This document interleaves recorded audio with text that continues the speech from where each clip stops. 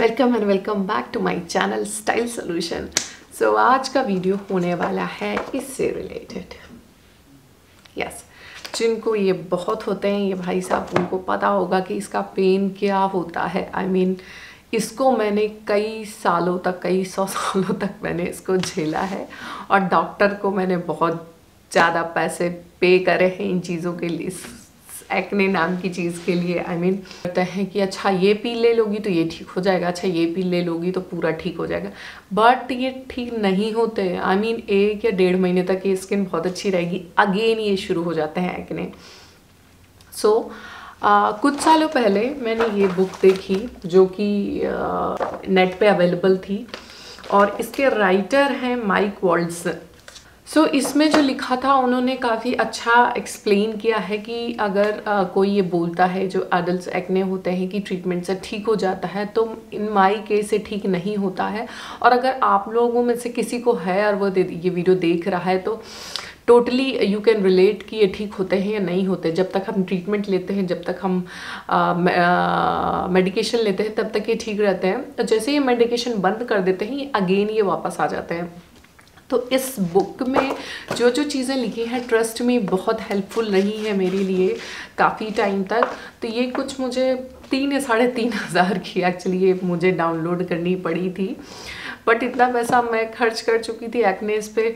तो उसके बाद मुझे लगा था कि yes this is the last thing जो मैं कर रही हूँ। उसके बाद मैं एक्ने पर एक रुपये नहीं खर्च करने वाली हूँ। बस ये मैंने डाउनलोड कर ली।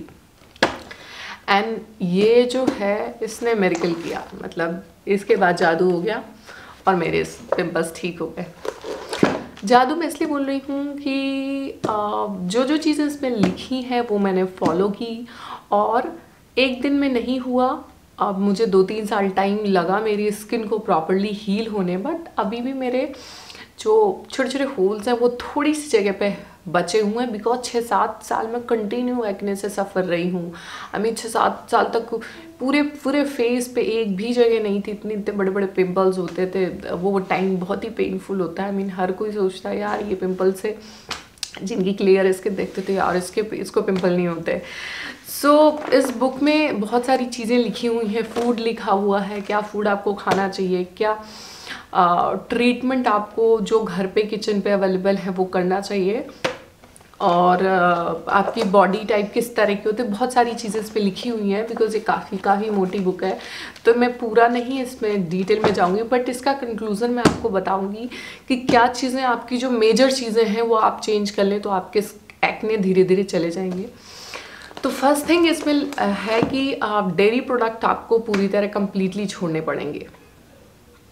डेयरी प्रोडक्ट बहुत ज़्यादा हार्मफुल होते हैं। अगर आपकी एक्ने प्रॉन स्किन है, अगर आपको पिंपल्स होते हैं, अगर आपको अडल्ट पिंपल या कोई भी पिंपल होते हैं तो पहली चीज़ आप करें कि डेयरी प्रोडक्ट बिल्कुल छोड़ दें। दूसरी चीज़ जो मैंने की आ, मैंने जो चेंज किया आपने उस पर मैंने आ, शुगर बिल्कुल भी ख़त्म कर दी थी। सॉल्ट भी कम खाने लगी थी। आई I मीन mean, मैं काफ़ी ज़्यादा सॉल्ट खाती हूँ। तो पानी का कंजम्पशन मैंने चार लीटर पानी पीना शुरू कर दिया अभी भी पीती हूँ। तो ये जो चीज़ें हुई उसने 50 परसेंट काफ़ी क्योर किया एक्ने मेरे। उसके बाद फ़ूड में इसमें बहुत सारी चीज़ें हैं कि क्या क्या फ़ूड आपके लिए बहुत अच्छी चीज़ें हैं तो बहुत बहुत ज़्यादा डिटेल्ड में हो जाएगा ये वीडियो तो फ़ूड में सिर्फ़ आप ऐसा करें कि ग्रीन वेजिटेबल बहुत सारी खाएँ, खूब सारी हरी चीज़ें खाएँ कलर्स वाली चीज़ें खाएँ।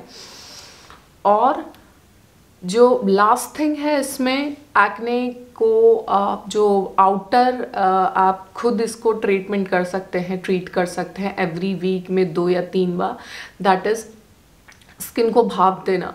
तो आप जो बेकिंग सोडा होता है सबके यहाँ मिल जाएगा। बेकिंग सोडा स्किन पे लगाने के बाद जब आप पाँच मिनट उसको लगाएँ उसके बाद उसको हटा दें उसके बाद स्किन को वीक में दो तीन बार भाप दें स्टीम दें। स्टीम बहुत अच्छा होता है इसमें ऐसा लिखा है। और मैं भी मैं मैं, मैं मैंने कंटिन्यू एक डेढ़ साल तक ही किया है तो वीक में दो तीन बार मैं स्टीम देती थी स्किन को। उसके बाद जो ये बेकिंग सोडा का मास्क है वो लगाती थी। Simple baking soda and water. तो ये चीज़ें हो गई। जो आपको करनी है। एंड अब बात करते हैं प्रोडक्ट कौन से प्रोडक्ट स्किन के लिए अच्छे होते हैं? कौन से प्रोडक्ट आपको यूज़ करने चाहिए? तो पहली चीज़ जो मैं आपको रेकमेंड करूँगी, जो मैं भी लगाती हूँ काफ़ी टाइम से, ये है कोलाजन नेचुरली कोलाजन हमारे स्किन पे होता है बट कुछ टाइम बाद कोलाजन ख़त्म होने लगता है। बहुत सारे उसके रीजंस होते हैं। तो कोलाजन के सप्लीमेंट्स भी आते हैं। तो कोलाजन का मैं ये मॉइस्चराइज़र लगाती हूँ, जो यहाँ पर मिलता है। आपको अगर इंडिया में अगर किसी को लेना है तो नायका एक ऑनलाइन स्टोर है। नायका में आपको बहुत सारे प्रोडक्ट मिल जाएँगे मॉइस्चराइज़र जो जिसमें कोलेजन होता है। तो आप वो देख के कोलेजन का प्रोडक्ट ख़रीदें। तो ये मॉइस्चराइज़र जो मैं काफ़ी टाइम से लगा रही हूँ that is really work for me अगर आप चाहें तो ये ले सकते हैं। दूसरा, ये फेस वॉश वाइटामिन सी का ही फेस वॉश है।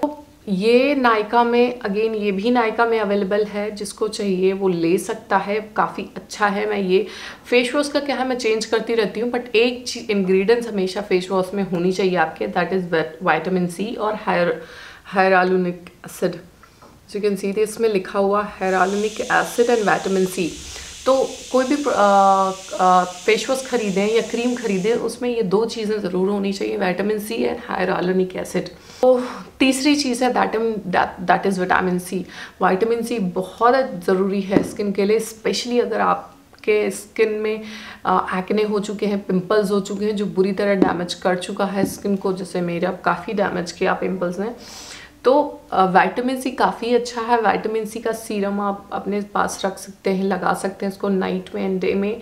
रिसेंटली मैंने ये लिया है, ये भी अगेन डॉक्टर रशल का ही है। ये भी काफ़ी अफोर्डेबल है बजट के अंदर आता है। और तीसरा, अगर थोड़ा सा किसी को थोड़ा सा कॉस्टली लेना है, ये ओज नेचुरल का है वाइटामिन सी तो ये भी काफ़ी अच्छा है। तो इसमें क्या क्या चीज़ें हैं? अल्फ़ा हाइड्रोलिक एसिड है vitamin C and vitamin E इसमें तीनों चीज़ें हैं। सो so, ये मैं कभी कभी कभी ये लगाती हूँ कभी ये लगाती हूँ दोनों डिपेंड करता है। और नाइट के लिए मैं अगेन डॉक्टर एशल की ही नाइट क्रीम लगा रही हूँ। ये भी काफ़ी अच्छी है अफोर्डेबल है बजट के अंदर। तो जितने भी ये प्रोडक्ट हैं ये सारे बजट के अंदर के प्रोडक्ट हैं। ये डेफिनेटली आपको इंडिया में मिल जाएँगे। आई एम नॉट श्योर कि ये कोलाजन क्रीम सेम ब्रांड की मिलेगी या नहीं मिलेगी आई एम नॉट श्योर जो थर्ड काफ़ी ये थोड़ा सा कॉस्टली प्रोडक्ट है। ये स्नेल आई डोंट नो ट्रोसिया ये कोरियन ब्रांड है एक्चुअली सो so, मैं ये रिसेंट मैंने लगाना शुरू किया है तीन से चार महीने। ये मेरी मेरी ये सेकेंड बॉटल है। ये क्या करता है गाइज़ आई मीन ये बहुत इफ़ेक्टिव है। आई I मीन mean, कैसे मैं दिख बताऊँ आपको? मेरे पास मेरे जो फेस पे यहाँ पर बहुत सारे ऐसे ऐसे वो हो रहे थे। तो ये होल्स टाइप से हो रहे थे जिनको पिंपल्स हुए हैं दे कैन रिलेट की कितनी बुरी तरह हो जाते हैं। जिनको बहुत ज़्यादा हुए यूनिक होते हैं। कुछ लोगों के पिंपल ज़्यादा लॉन्ग टाइम के नहीं होते तो उनको स्किन क्लियर हो जाती है। तो मेरे पिंपल्स में मार्क्स नहीं हुए मेरे होल्स हो गए थे यहाँ पर। सो so, ये स्पेशली रिपेयर कर रहा है। आई I मीन mean, काफ़ी सेवेंटी परसेंट मेरे ठीक हो चुके हैं। ये मेरी दूसरी बॉटल है। तो ये मेरिकल रिपेयर सीरम है। सो so, ये आई डोंट नो इंडिया में मिलेगा या नहीं मिलेगा। यहाँ पर मैं ऑनलाइन मंगाती हूँ। मेड इन कोरिया है ये।